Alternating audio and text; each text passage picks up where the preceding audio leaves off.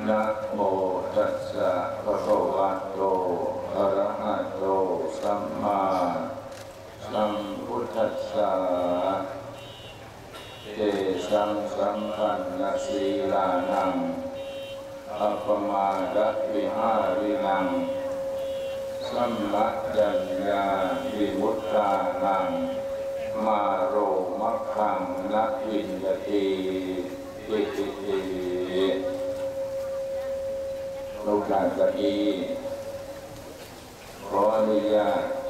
พระเทระอนุเทระเพื่อจะทำนิพระภิกษุสามเณรจะขอเจริญพรญาติโยมพุทธบริษัททั้งหลาย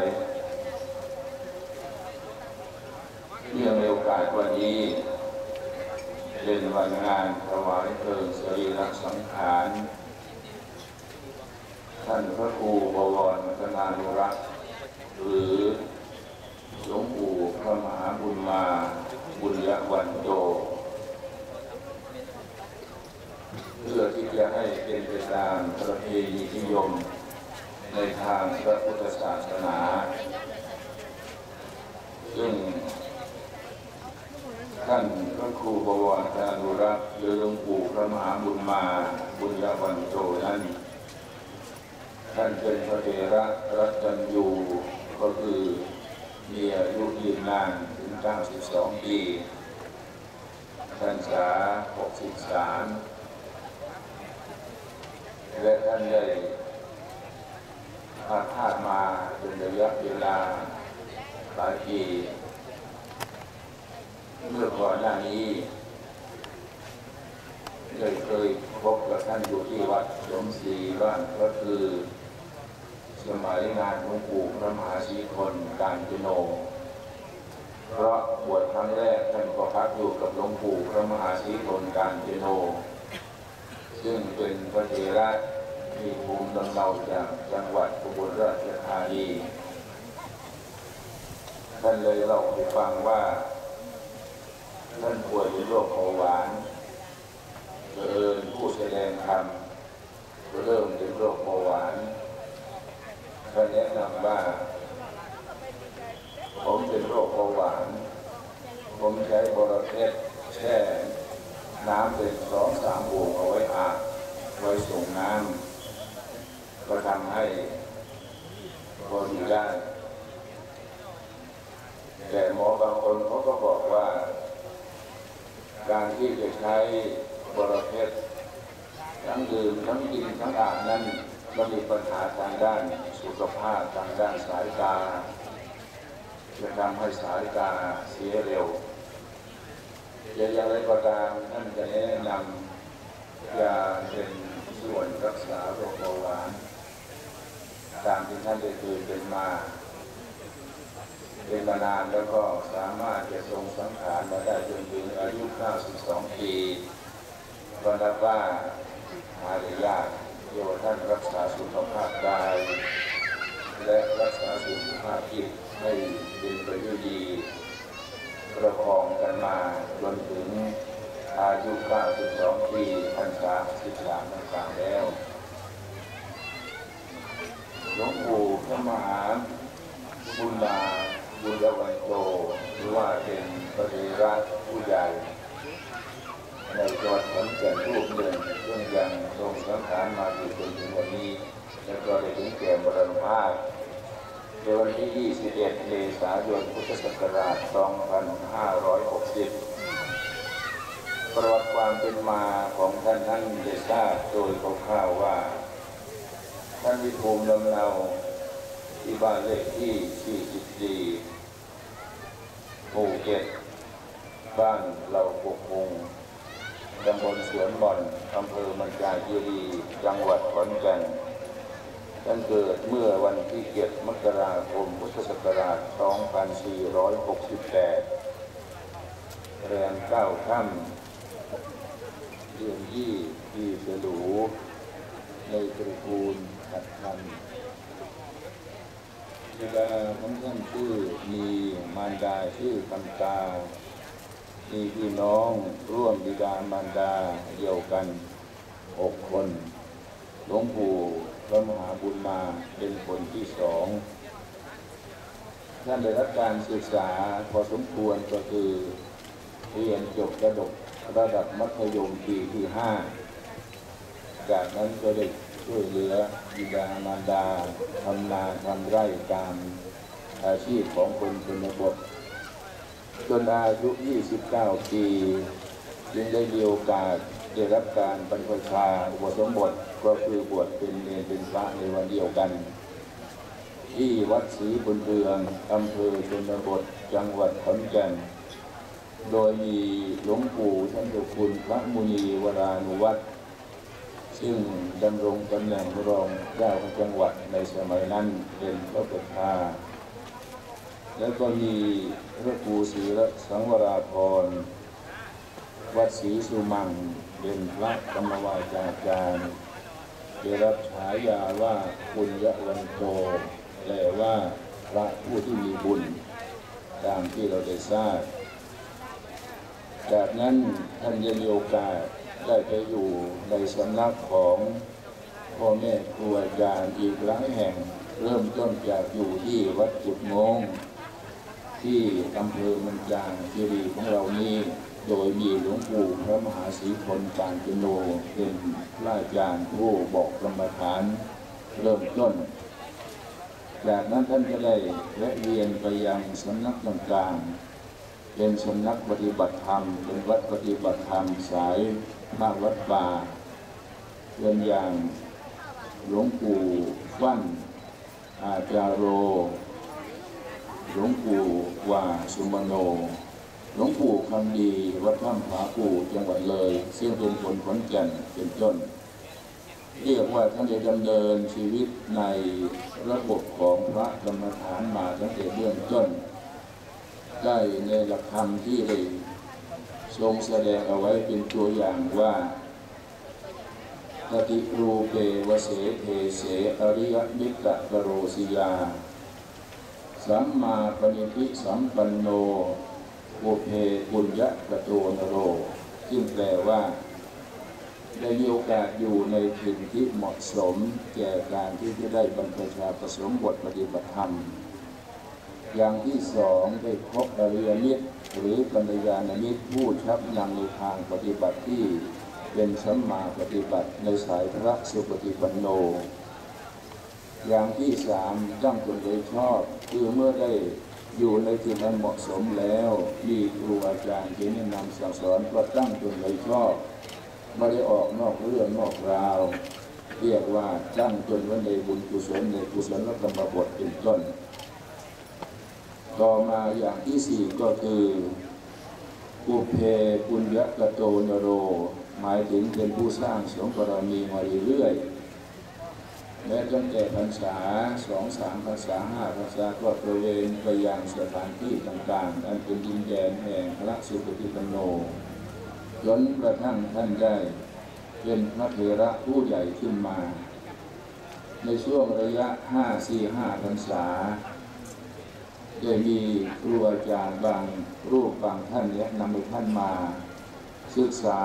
แผนที่ในการปฏิบัติธรรมก็คือมาศึกษาพระปริติธรรม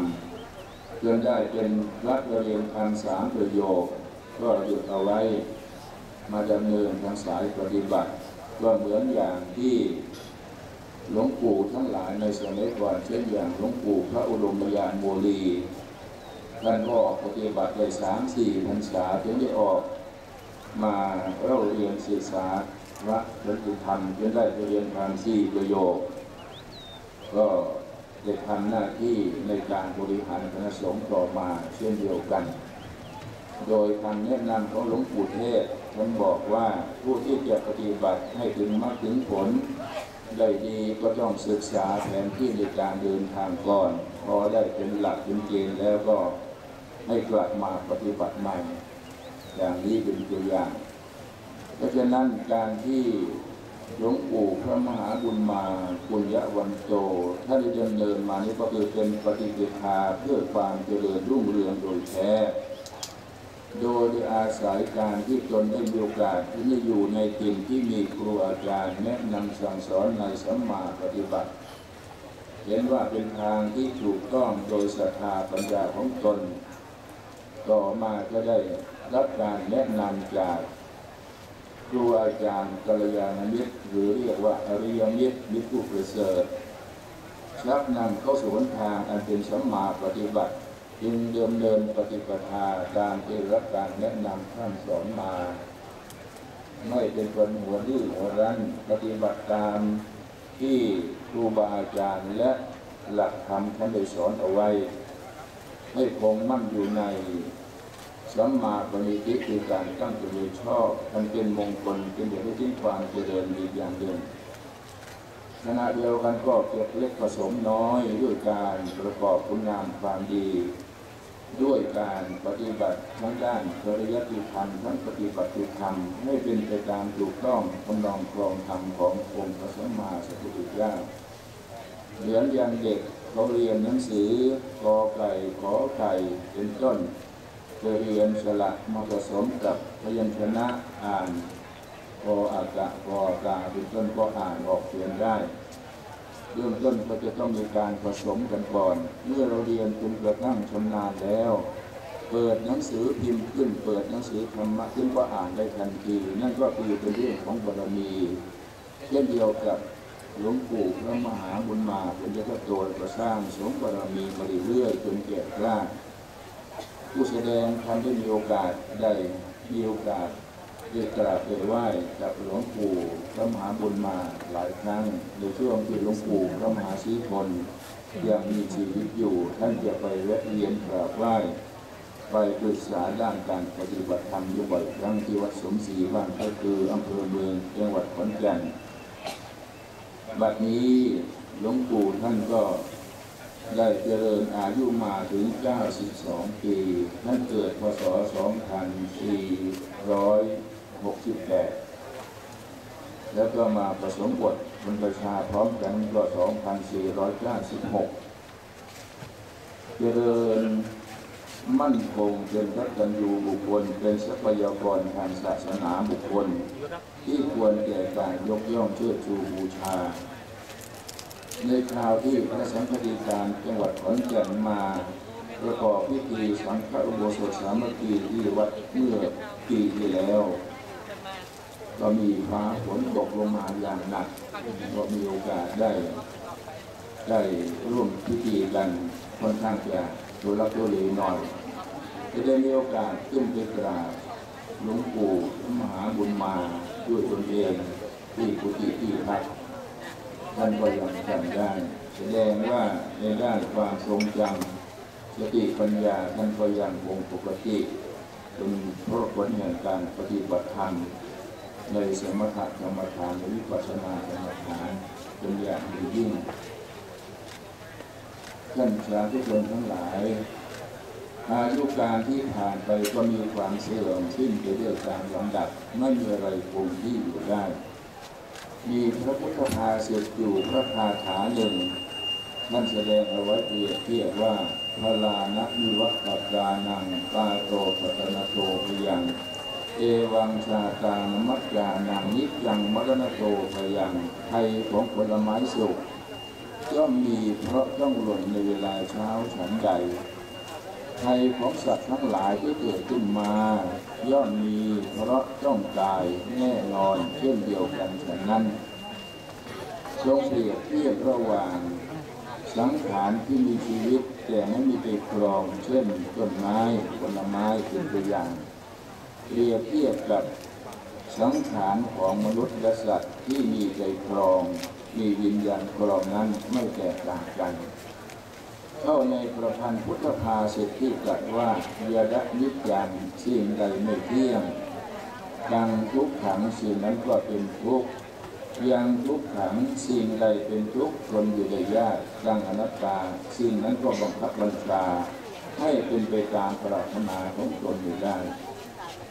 แต่เพราะเหตุแห่งการที่หลวงปู่ พระมหาบุญมาบุญยศัตโตหรือท่านพระครูบวรพระนานุรักษ์ท่านได้บำเพ็ญคุณงามความดีมาในด้านกรรมฐานทั้งสมถะกรรมฐานวิปัสสนากรรมฐานเพียงได้รับการอนุญาตคุ้มครองจากสิ่งศักดิ์สิทธิ์ทั้งหลาย โดยเฉพาะก็คือหลักธรรมะของพระพุทธเจ้าที่ว่าธรรมโมหะเวรกติธรรมจาริง ธรรมะนั่นแหละย่อมคุ้มครองรักษาผู้ประพฤติธรรม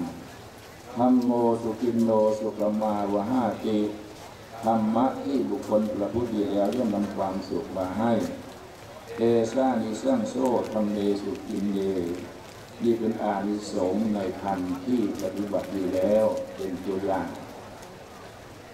ท่านทั้งหลายคงได้ยินได้ฟังธรรมเป็นภาษาบาลีอยู่ ประโยคหนึ่งว่า อามะพิกเว คุณยวโต สมณธรรมังกรณกาเลถูกแล้วที่ถูกทั้งหลาย เวลาที่บุคคลผู้มีบุญกระทำสมณธรรมนั้น ย่อมมีผู้ให้การอารักขาคุ้มครอง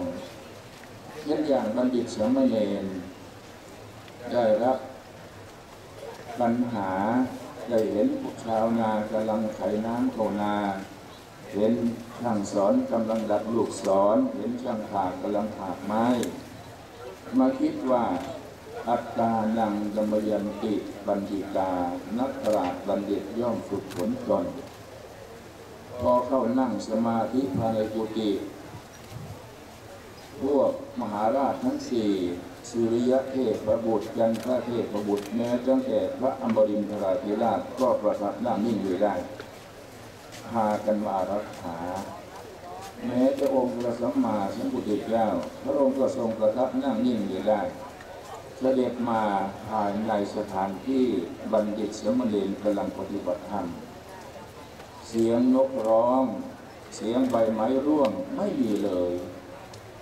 ช่างเป็นสปายะอันเหมาะสมอย่างยิ่งทำให้บัณฑิตสมณเณรได้บรรลุเป็นพระอรหันต์ภายในเวลา เพียงอายุเพียงเจ็ดปีเท่านั้นเองทำให้เราได้เข้าใจว่าผู้มีบุญนั้นย่อมจะมีผู้ส่งเสริมคุ้มครองรักษาอุปถัมภ์บำรุงเช่นอย่างบัณฑิตสมเณรในพระบริยตกถาที่กล่าวว่า อามะพิกเวปุญยวโตสมณธรรมัง กรณกาเลถูกแล้วที่ถูกทั้งหลายถูกอย่างนั้นจริงๆ เวลาคนมีบุญทำสมณธรรม ประพฤติสมณธรรม ย่อมมีผู้การอารักขาเช่นเดียวกันอย่างนี้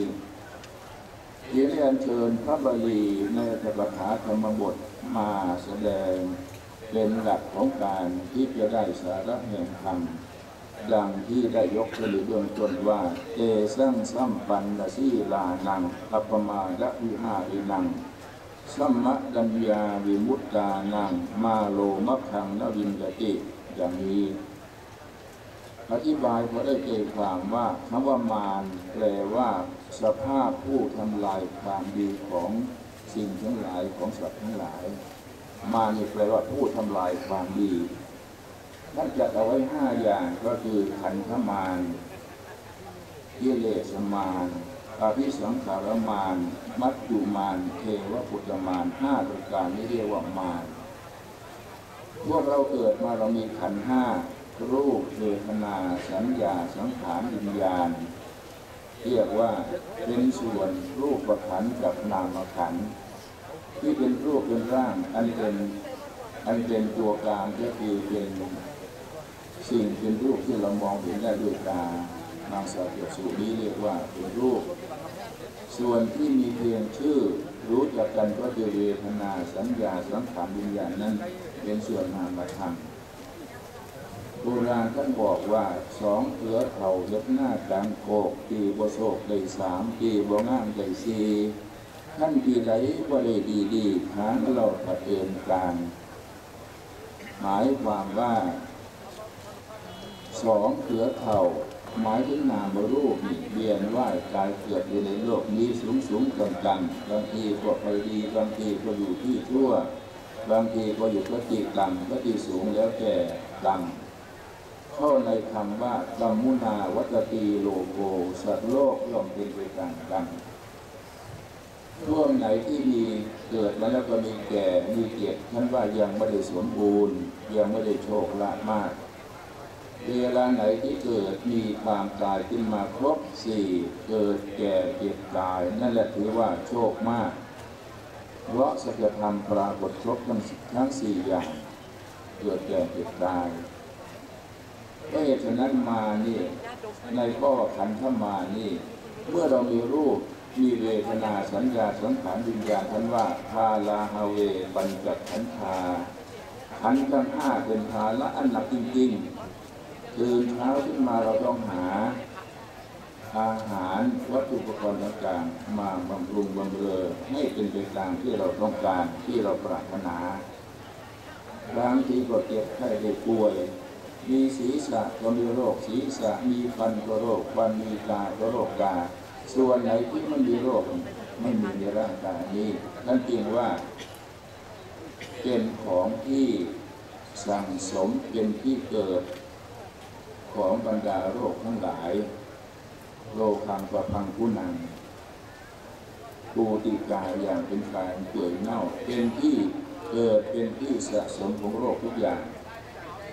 เราคิดว่าเราเป็นเจ้าของร่างกายแต่อย่าลืมว่า ประเภทสัเพสตาอัตตะปริยายิปันนาหมายถึงที่เรื่องในร่างกายเรานี้เช่นพวกตระกูลต่างๆของโรค พวกพยาธิพวกหนอนต่างๆท่านกล่าวว่ามีถึงสามร้อยตระกูลในร่างกายเรานี้ มันอุจจาระปัสสาวะเป็นสนามกีฬาเป็นโรงพยาบาลเป็นที่หลับที่นอนของมันอีกจำนวนถึงสามร้อยกว่าตระกูลไปแล้วกัน เพราะฉะนั้นร่างกายเรานี้ถึงว่ามันเป็นของลำบากบุคคลผู้ที่มีโรคประจำตัวมากๆก็ยุ่งบริหารจะยากมาก ลำบากในการบริหารร่างกายบริหารเกี่ยวกับเรื่องของเวทนาสัญญาสังขารวิญญาณยากมากท่านจึงบอกว่าฮารามาเวปัญจขันธาขันธ์ห้าเป็นพระอนัตเป็นมางอย่างหนึ่งที่คอยที่จะให้เรานั้นไม่ได้ทำความดีพอเราอยากกราบพระอยากจะไหว้พระอยากจะเดินทางไปกราบครูบาอาจารย์ที่นั่นที่นี่ ร่างกายมันก็ไม่อำนวยก็ลำบากเราเห็นได้ชัดเจนในเรื่องของรูปขันธ์ ในส่วนของกิเลสมานหมายถึงตัวโลภะโทสะโมหะอารติเป็นต้นเหล่านี้มันก็อยู่ในใจของเราตลอดเวลา มันก็ไม่ได้เกิดขึ้นทุกครั้งทุกคราวจะเกิดขึ้นเมื่อมีอารมณ์มากระทบเข้า เรามีโลภะโทสะโมหะ อยู่ในใจของเรานี่แบบซุ่มเงียบ เราจึงต้องอาศัยการบำเพ็ญทานศีลภาวนาเข้ามาช่วยเหลือ เพื่อที่จะให้ตัวโลภะโทสะโมหะเบาบางลงไปอันความโลภอยากได้ในสิ้นสุดจะหาจุดจบได้ที่ไหนหนอ ได้อย่างนั้นอย่างอย่างนี้ไม่มีพอ มีแต่ข้อม่จบพบทุกวันอันความโกรธก็ร้ายนักพระพักว่าเป็นที่มาแห่งทุกข์ไม่สุขสันต์ยิ่งโกรธมากก็ยิ่งทุกข์ทุกคืนวัน ช่วงหน้าขันมุดเราชอบเขาตนอันความหลงเพลินดีคือมีรักหลงยศศักดิ์หลงจิตจิตกระวนเขายิ่งหลงเขายิ่งไหลใจกังวลหลงอะไรไม่ยิ่งหลงคนโลกีจงตัดโลกด้วยทานการสละตัดโทสะอเมตตาเป็นราศีตัดโมหะใช้ปัญญาเป็นบารมีพระคาถานี้ ดีแท้จริงเนี่ยเพราะฉะนั้นเราจึงต้องอาศัย พระคาถาของพระพุทธเจ้าคือเอาโลภะเอาทานศีลภาวนาเนี่ยมาต่อสู้กับโลภะโทสะโมหะดังกล่าวเรื่องกิเลสมานก็ผานใจเราอยู่ตลอดเวลา เราจะเผลอไผลจบในอำนาจของกิเลสมานนั้นไม่ดีอย่างแน่นอน ต่อมาก็คืออภิสังขารมานความคิดปรุงแต่ง อยากทำดีบ้างเป็นปุญญาที่สังขารคิดชั่วบ้างเป็นแต่ปุญญาที่สังขารบางทีก็เฉยๆเป็นแบบเป็นการเรียนชาที่สังขารตัวปรุงอย่างนี้ให้เราเกิดคิดต่างๆในการทำดีทำชั่ว ยิ่งถ้าหากเราได้มาสู่สถานที่วัดอย่างวัดป่าภูหันบันพศวัดป่าทั้งหลายที่ท่านบำเพ็ญสมถะกรรมฐานวิปัสสนากรรมฐานยิ่งมีอารมณ์ในทางดี ท่านจึงให้เราสั่งสมแต่คุณงามความดี เพราะเวลาที่เราจะต้องสิ้นใจไปนั้น อารมณ์ที่เป็นกุศลกรรมก็จะปรากฏเกิดขึ้น จึงให้เราเนี่ยได้พยายามที่จะต้องให้ตัวปรุงแต่งที่เรียกว่าสังขารให้เป็นปุญญาที่สังขารหนึ่งมาก หรือไม่ก็ให้เป็นอเนญชาที่สังขารเป็นสมาธิไปก็ยิ่งดีขึ้น ต่อมาก็คือมัจจุมานและเกิดความตายอย่างที่เราเห็นนี้ความตายนี่เป็นสิ่งที่ทุกคนไม่พึงปรารถนาไม่อยากได้ยินเลย ถ้าหากคิดถึงเรื่องของความตายแล้วก็บอกว่าเป็นความเศร้าส้อยหงอยเหงาจิตไม่กระตือรือร้นไม่อยากได้อะไร อันนั้นไม่ถูก เราต้องมีสติปัญญา และก็ให้เกิดความสังเวชในการคิดถึงความตาย สุนทรผู้บอกว่าคิดถึงความตายสบายนักมันหักรักหักหลงในสงสารบรรทามืดโมหะอันตรการทำให้หานหายสะดุ้งไม่ยุ่งใจความตายนี่เป็นสภาพผู้ทำลายทุกสิ่งทุกอย่างคนจึงกลัวกัน ได้ในพระบาลีในนิธิกันตสูตรว่าเจดาปุญญคโยโหติสวะเมตังวิสติเมื่อใดสิ้นบุญไป คือตายทุกอย่างหมดความหมายหมด เคยเป็นเจ้าของเงินเป็นร้อยล้านเป็นพันล้านหมดไป ความเป็นเจ้าของเป็นสามีเป็นบิดาเป็น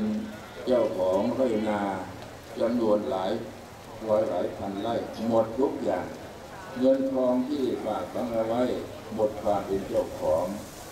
โดยเฉพาะร่างกายที่เคยรักเคยหวงแหนก็กลายเป็น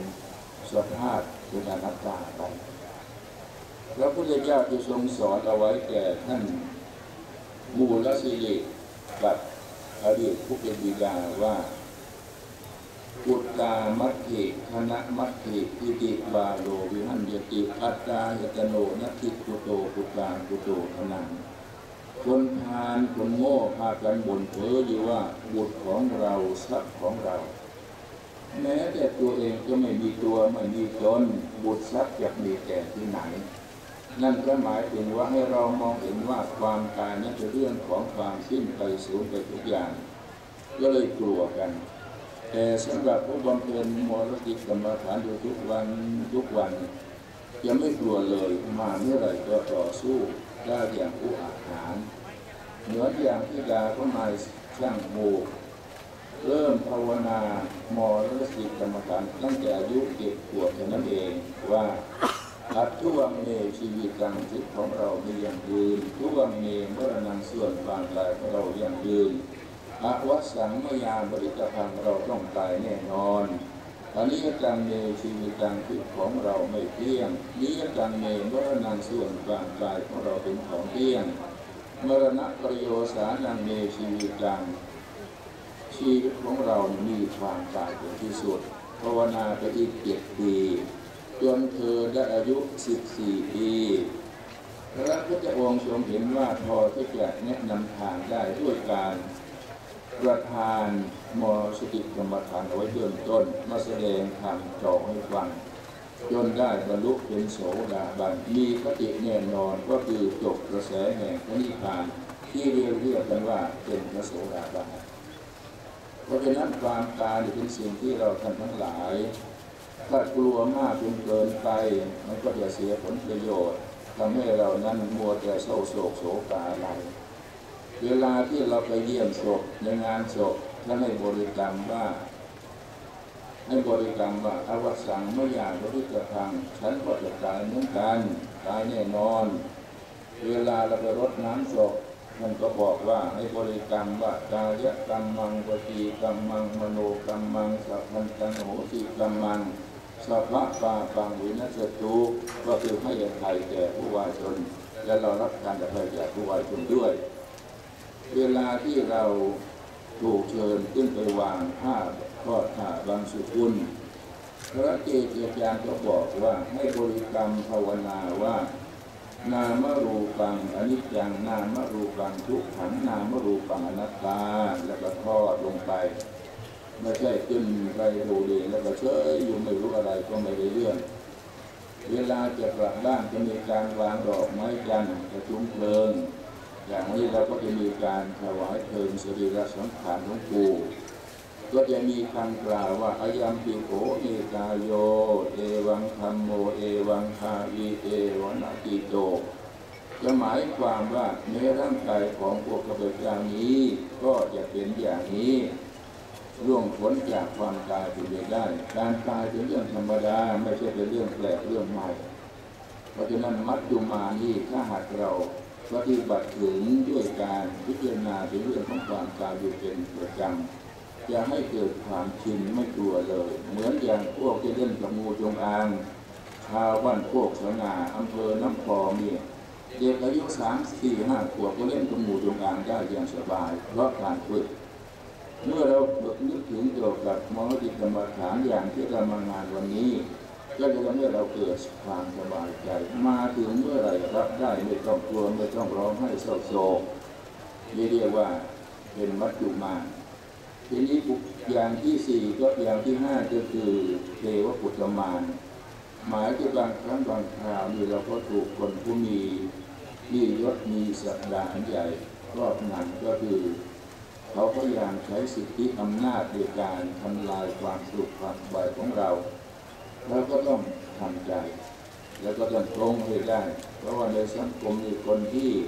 แบบลงไปตรงมาหรือแบบประเทศอคติก็มีอยู่เยอะ ในสังคมเราปัจจุบันนี้ก็ยิ่งแย่มีระเบิดกันทุกแห่งทุกประเทศ ปัญหากำลังก่อกันขึ้นมามากมายเพราะเรื่องมันมาจากตัวกิเลสความมักใหญ่ไฟสูงต้องการครองโลกมันก็มีกันอยู่ทั่วไป ทีนี้เมื่อเราเห็นว่ามาเนี่ยเป็นผู้ที่มีความสำคัญ ดังกล่าวแล้วท่านว่าผู้ที่พ้นจากมารไปได้นั้นมีคุณสมบัติอยู่สามประการเกสังสัมปันนสีลานังเป็นผู้สมเป็นผู้มีศีลสมบูรณ์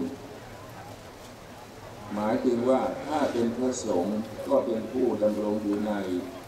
ในศีลสี่ประการที่สำคัญเป็นหัวข้อใหญ่ก็คือพระราปาริสุทธิศีลสี่ ได้แก่สำรวมในพระปฏิโมกจำนวน227สิกขาบท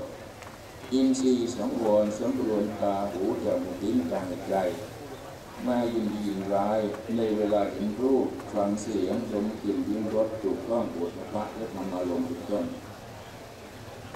ต่อมาก็คือปัจจยสถิติกศีลได้แก่พิจารณาปัจจัยที่ใช้ในการบำรุง สังขารร่างกายพระพุทธปัจจัยสี่อาหารบินทบาเสนาสนะกิรณะเภสัชที่ได้มาต้องพิจารณาทุกครั้งที่มีการใช้สอย เพื่อจะต้องไม่เป็นผู้มีหนี้มีศีลอย่างที่สี่ก็คือการแสดงหรือการ ประกาศพฤติกรรมของตนในทางบริสุทธิ์ในการที่จะต้องเลี้ยงชีพเรียกว่าอาชีวะบริสุทธิศีลสิ่งไหนที่เป็นไปเพื่อความเบียดเบียนตนเบียดเบียนผู้อื่นทำลายและเบียดลักษณะของพระพุทธศาสนาจะไม่ยอมโดยเด็ดขาดเลี้ยงชีพด้วยการปฏิบัติในปัจจัยสี่ที่ถูกต้องตามพระธรรมวินัยอันนี้เรียกว่า เป็นผู้สมบูรณ์ในศีลข้อสองก็คืออัปมาดวิหารินังได้แก่มีปกติอยู่ด้วยความไม่ประมาท หมายถึงมีสติทุกเมื่อก่อนที่จะทำจะพูดจะคิด โดยอาศัยหลักธรรมะเป็นเครื่องที่จะนำตนไปสู่ความเป็นผู้มีกายวาจาใจสะอาดเรียบร้อย ตามหลักท่านบอกว่าถ้าเป็นภิกษุระวังใจไม่กำหนัดในอารมณ์จะแจ้งความกำหนัดเช่นรูปเสียงเป็นต้น ระวังใจไม่ขัดเคืองในอารมณ์จะตั้งความขัดเคืองเช่นอย่างการทำด่าทำนินทาเป็นต้น ระวังใจไม่ให้ลุ่มหลงในอารมณ์ที่ตั้งความรุ่มหลงเช่นอย่างลาบยศสรรเสริญสุขเป็นต้น ระวังใจไม่ให้กลัวในอารมณ์คือที่ตั้งแห่งความกลัว หรือเป็นที่ตั้งแห่งความลำคาญเป็นที่ตั้งแห่งความไม่ไม่ปกติทั้งสี่ประการนี้เรียกว่าเป็นการห้ามระวังใจไม่ประมาทถ้าใจประมาทเลื่อนเลื่อเผลอตัวเมื่อไหรก็ตกเป็นท่าของกิเลสทั้งหลาย ทำชั่วได้ง่ายทั้งทางกายวาจาและทางใจอย่างที่สามก็คือสมดัญญาวิมุตตานังเป็นผู้หลุดพ้นเพราะความเห็นชอบ หมายถึงความเห็นชอบได้แก่ เห็นชอบในเรื่องของอริยสัจสี่อย่างสูงก็คืออริยสัจสี่เป็นหัวใจของพระพุทธศาสนา ได้แก่ทุกสมุทัยนิโรธมรรค กล่าวโดยย่อก็คือเห็นเหตุกับเห็นผลทุกนั้นเป็นผลมาจากสมุทัยสมุทัยเป็นเหตุให้เกิดทุกข์เห็นนิโรธตัวดับทุกข์การเป็นผลมาจากมรรคเป็นข้อปฏิบัติถึงความดับทุกข์ซึ่งเราก็กล่าวกันแล้วหมายถึงมรรคแปดประการโดยโดยเฉพาะในข้อสุดท้ายก็คือสัมมาทิฏฐิสัมมาสังกัปปะสัมมา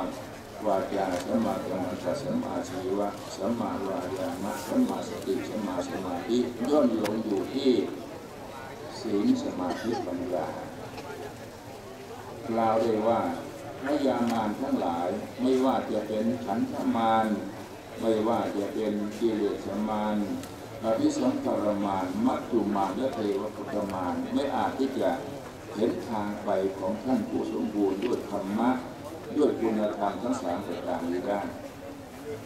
บัดนี้พวกเราทั้งหลาย ได้เห็นแล้วว่า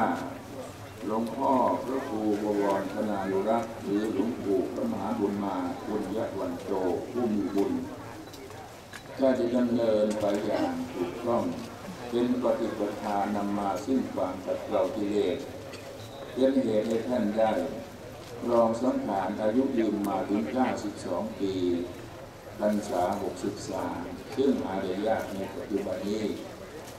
ครั้งนี้ก็เพื่ออาศัยท่านได้เริ่มต้นมาดีได้แก่อยู่ในถิ่นในสถานที่ที่มีครูบาอาจารย์เหมาะสมครูบาอาจารย์ล้วนแต่เป็นอริยมิตรเป็นกัลยาณมิตรชักนำในทางที่ถูกต้องไม่เสียหายยังรงตนอยู่ในสัมมาปฏิบัติเป็นอัตตะสัมมาปฏิทิตั้งตนโดยชอบ ก่อสร้างบุญกุศลเรื่อยมาเข้าในทำนองที่ว่ามากมาจากน้อยร้อยมาจากจิตสุโขบุญยัสบุญโยการสังสมขึ้นซึ่งบุญเป็นเหตุทำสุขมาให้เป็นเบื้องต้นเมื่อท่านเจริญในพระพุทธศาสนาทำหน้าที่ในหลายอย่างทั้งเป็นฝ่ายปริยัติทั้งเป็นฝ่ายปฏิบัติดำรงคงมั่นมาท่านเป็นผู้สมบูรณ์ด้วยศีล สมบูรณ์ด้วยความไม่ประมาทเป็นผู้มีความรู้ความเห็นชอบแม้จะไม่บรรลุเป็นเพียงขั้นพระอรหันต์ท่านก็ว่าท่านมีความเชื่อมั่นในหลักของพระไตรที่พระพุทธธรรมพระสงฆ์โดยไม่ต้องสงสัยทิมินาจตะปุญเยนะเพื่ออำนาจบุญกุศลคุณงามความดีบุญบารมีที่หลวงปู่พระมหาบุญมาบุญยรัตโตได้กระทำบำเพ็ญมา รวมทั้งบุญกุศลที่บรรดาพุทธศาสนิกชนพุทธบริษัททั้งหลายที่มาร่วมกันบำเพ็ญกุศลเริ่มมาตั้งแต่การสวดมาติกาความสุขุนสวดพระพิธรรมถวายเป็นลำดับมาจนถึงวันนี้เป็นวันถวายเพลงสรีระสังขารก็จงเป็นสิ่งที่ดลบันดาลให้พระเดชพระคุณท่านพระครูบวรธนานุรักษ์ หรือหลวงปู่พระมหาบุญมาบุญยคัตโต ได้บำเพ็ญบารมีเพื่อความสิ้นทุกข์ในสังสารวัฏสิบต่อไปชีวิตไม่ยั่งยืนเราคนอื่นไม่ต่างกัน เกิดมาก็นับวันเปลี่ยนแปลงขันสู่ความตาย ความตายมีแน่นอนขอผัดฝันไม่สมหมาย มีจนต้องวางวายเมื่อไรสิ้นจะยิงไกล เกิดขึ้นก็นำมาความชราและป่วยไข้ความตายตามมาไวปลูกวัดไว้ไม่ปล่อยวาง ชีวิตมีของใครทั้งน้อยใหญ่มาขัดขวาง รู้แล้วต้องปล่อยวางฝึกอยู่อย่างรู้ทัน เกิดขึ้นตายตามมา ตามธรรมดาแห่งธาตุขันธ์ตั้งสติทุกคืนวันเราแปลขันในมันคง ความเกลียดก็รุมเอาหนักไม่เบาทั้งหลายหลงแก่แล้วต้องปล่อยลงอย่าไปหลงสิ่งกำลัง ชีวิตลมหายใจสิ้นเมื่อใดถูกเผาฝังตามกฎอนิจจังและทุกขังอนัตตานั่นเอ๋ยอย่าประมาทลืมเชื้อชาติศาสนาทำดีทุกเวลาอิมปุราด้วยผลบุญยามไปสู่โลกหน้าบุญ